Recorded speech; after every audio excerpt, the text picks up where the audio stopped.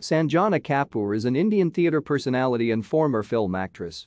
She is the daughter of actors Shashi Kapoor and Jennifer Kapoor.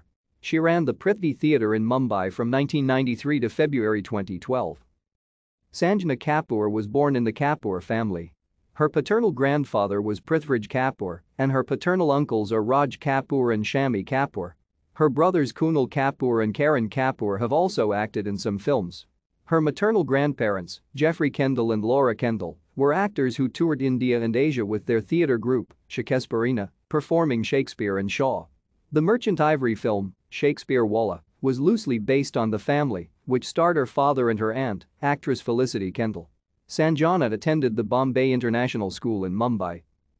She made her acting debut in the 1981 film 36 Chowringhee Lane which was produced by her father and starred her mother Jennifer Kendal in the lead.